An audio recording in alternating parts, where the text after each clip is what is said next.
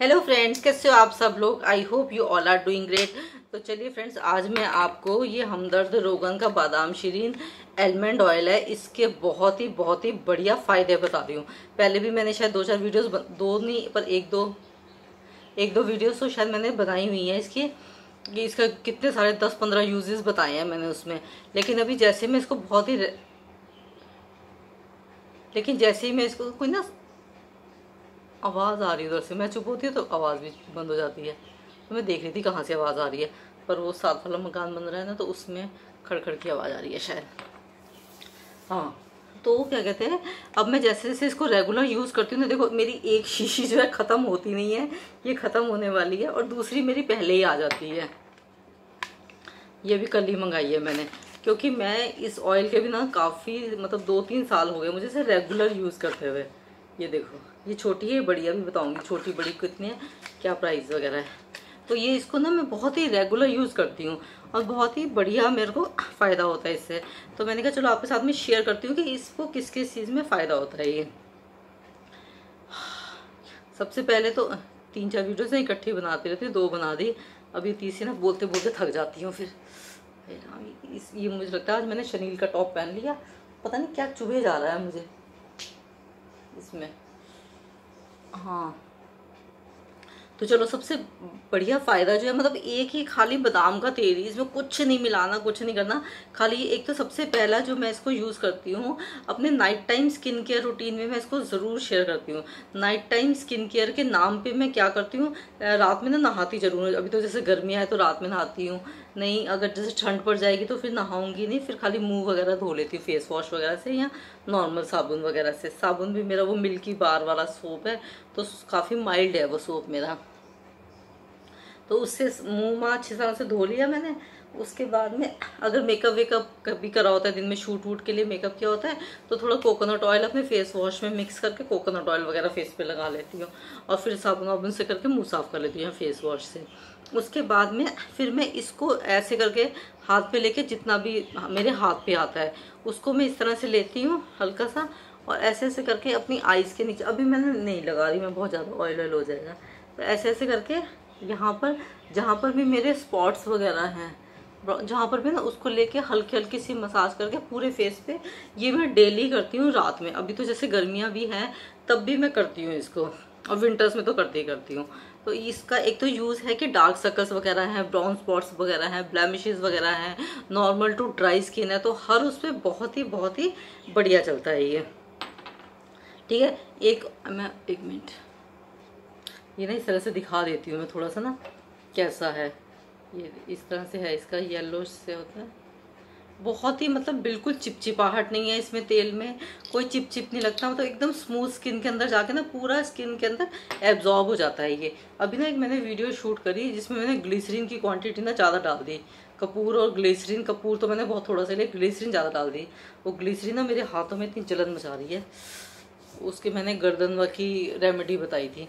अगर वो करोगे ना रेमेडी तो ग्लिसरीन बिल्कुल एक ड्रॉप से ज़्यादा मत डालना, बिल्कुल भी। मैंने तो भी हाथ पे और गर्दन पे ही बताया है। कपूर भी बहुत कम डालना। जलन सी मच रही है। मैं तो मैंने इसलिए यहाँ पे लगा लिया ये। मतलब एकदम ना स्किन को सूद आउट कर देता है। एकदम सॉफ्ट स्मूथ कर देता है स्किन को। और ठंडक सी पहुँचाता है ये। जैसे कोकोनट ऑयल करता है ना, वैसा। देखो, एकदम लगा के ना स्किन पे कोई चिपचिपाहट नहीं लग रही और इजीली स्किन के अंदर एब्जॉर्ब हो जाएगा। और स्मेल के नाम पे भी सही है स्मेल इसकी। मतलब ये बड़ी खुशबू सी आ रही है। ऐसा तो नहीं है, पर स्मेल है। इसकी ये पहले मैंने बड़ी शीशी मंगाई थी, ये थी दो सौ रुपये के आसपास। दो सौ बीस रुपये की है ये। फिफ्टी एम है इसका। और ये जो अभी मैंने कल मंगाया है, मैं तो बस अपने हस्बैंड को बोलती ना, मेरे बादाम रोगन ले आना, उनकी मर्ज़ी, कभी वो बड़ी ले आते हैं, कभी वो छोटी ले आते हैं। जो उनको समझ में आते हैं, जो दुकानदार देता है, वो ले आते होंगे। तो ये है ट्वेंटी फाइव एम की। ये है एक सौ पंद्रह रुपये की पर एक सौ दस की लगाई है शायद उसने। तो एक सौ की है, लेकिन एक सौ की लगाई थी उसने। तो ये वाली है, ठीक है? तो क्वांटिटी में डबल का फ़र्क है, डब अमाउंट में भी डबल का ही फ़र्क है। हाँ तो अब जो एक आज का जो मैं इसका फ़ायदा देख रही हूँ। हाँ तो आजकल इसका जो सबसे बढ़िया मैं फ़ायदा देख रही हूँ, पहले मैं मेकअप करती थी ना तो मेरे पास एक कलर एसेंस की पैलेट थी, उसमें ही कंसीलर था, उसमें ही फाउंडेशन था, उसमें ही हाइलाइटर था। तो तीनों उसमें एक ही पैलेट लेती थी, फटाफट करके 10 से 15 मिनट में मेरा मेकअप हो जाता था। और मेकअप को स्किन प्रेप के उसमें मैं सिर्फ़ ये बादाम ऑयल है, ये ही अपनी स्किन पे लगाती थी और पूरा मेकअप करके 15 से 20 मिनट भी मैक्सिमम बता रही हूँ और मेरा मेकअप हो जाता था। अभी आजकल क्या है, अभी मैंने ना एक मेकअप क्लासेस वगैरह भी ली हैं, और भी मेकअप वीडियोस वगैरह भी हैं। तो बहुत प्रोसीजर होता है सारा क्लिनजिंग टोनिंग मॉइस्चराइजिंग आजकल लिक्विड इल्यूमिनेटर भी चल गए हैं। लिक्विड इल्यूमिनेटर हो गया प्राइमर हो गया तो बहुत सारे स्टेप्स होते हैं स्किन प्रेप करने के। तो उससे भी अच्छा ग्लो आता है, मैं वो भी करती हूँ, वो भी सारे मैंने आपको बताए हुए हैं। या खुद भी मैं लाइव आके भी वो सारी चीज़ें करती करती हूँ। अभी पर वो भी अच्छा होता है मेकअप उसमें भी कोई नहीं, वो भी स्टेप बाय स्टेप करो तो वो भी सही होता है। लेकिन अभी मैं ना कंपैरिजन करूँगी अभी तो मैं चार पाँच टाइम से जो वीडियो बना रही हूँ मेकअप की, उसमें सबसे पहले मैं अपने फेस को साफ़ करती हूँ वेट वाइप से। उसके बाद में क्लिनजिंग मिल्क फिर टोनर फिर मॉइस्चराइजर फिर उसके बाद लिक्विड इल्यूमिनेटर कितने हो गए? Wet wipes toner moisturiser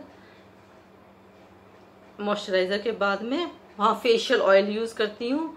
उसके बाद में लिक्विड इल्यूमिनेटर यूज़ करती हूँ। फिर प्राइमर यूज़ करती हूँ। हाँ और ऑयल अगर ज़्यादा हो गया तो वाटर जेल भी इस्तेमाल करती हूँ। मतलब मोटे मोटे आठ स्टेप्स कर लिए मैंने। मतलब जितने देर में तो पहले मैं मेकअप कर लेती थी, उतनी देर में तो अभी मैं स्किन प्रेप ही कर रही हूँ अपना। तो ठीक है, वो भी सही है, वो भी एक तरीका है। ठीक है, अब यहीं पे वाइस वर्षा अब मैं पहले क्या करती थी, पहले मैं सिर्फ़ ये लेती थी, सिर्फ़ ये बादाम का तेल लेती थी और इसको अपनी स्किन पे लगा लेती थी। अब ये खाली बादाम का तेल ही जो मुझे समझ में आया, ये मेरे फेशियल ऑयल का काम भी कर रहा था, ये मेरे मॉइस्चराइजर का काम भी करता है स्किन को मॉइस्चराइज कर रहा था। ये एज अ प्राइमर क्योंकि कुछ प्राइमर भी होते हैं ना, जो ऑयल ऑयल बेस्ड प्राइमर्स होते हैं, उसमें ऑयल कंटेंट ज़्यादा होता है। तो ये मेरे एज अ प्राइमर का भी काम कर रहा था मतलब दो मतलब एक ही बॉटल ये, और मेरी कितनी चीज़ों में काम करी थी। वाटर जेल मेरा इसमें से हट गया, जो भी था मतलब चार पाँच चीज़ें मेरी हट गई, और एक ये सिर्फ़ यही। तो अब मैं सोच रही हूँ, कल मैं मेकअप करूँगी तो कल मैं जो इतने सारे स्टेप्स करती थी ना, और फिर इतने सारे स्टेप्स करने के बाद में हाँ बहुत ही कुछ अलग सा हो गया। या मतलब ऐसा कुछ खास डिफरेंस भी मुझे नहीं दिखा कि मतलब क्योंकि जितना कम से कम अपनी स्किन पे मेकअप को लगाएँगे या प्रोडक्ट्स को लगाएँगे ना, मुझे लगता है मेकअप उतना ही स्मूथ जाता है, उतना ही नेचुरल जाता है। तो वो सारी लेयर्स जो हैं, कल मैं कट डाउन करके तो मैं कल खाली इसी को ही लगाऊँगी, पहले अपने फेस को क्लीन कर लूँगी। फेस वो तो वैसे भी नहाओ धो सुबह तो क्लीन ही रहता है फेस वेस तो मैं सीधा जो है इसको क्या कहते हैं बादाम ऑयल जो है, इसकी हल्का हल्का लेके ना इसकी मसाज कर लेती हूँ अच्छी तरह से। तो और अपने आप ही ना एक शाइन सा आ जाता है फेस के ऊपर। हाँ तो शाइन से आगे फेस के ऊपर, उसके बाद में फिर हम शाइन से होगा, उसके बाद मैं ऑरेंज कलर करेक्टर लगाऊँगी।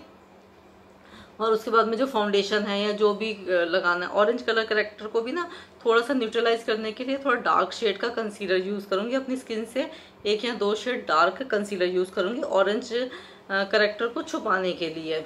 और फिर उसके बाद में एफ़ एस ट्वेंटी नाइन में करेलॉन का बेस यूज़ करूँगी और आइवरी शेड यूज़ करूँगी हाईलाइट के लिए। लेकिन कल जो मैं मेकअप करूँगी, इतने कम कम प्रोडक्ट्स लगाऊँगी जो मैं फ़िलहाल जो मैं सोच रही हूँ कि बहुत कम कम प्रोडक्ट्स लगाऊँगी, क्योंकि ना इतने ज़्यादा प्रोडक्ट्स लगाने से ना अगर ऑरेंज करेक्टर भी हमने ज़्यादा लगा लिया ना, ये मेरे है क्या? कोई कीड़ा है क्या? तंगी कर मारा इसने। हाँ तो क्या कहते हैं, जो ऑरेंज करेक्टर अगर हमारा हल्का सा भी ज़्यादा लग जाता है ना तो फिर उसको छुपाने के लिए हम वो न्यूट्रलाइज करते हैं कंसीलर से। ठीक है? उसको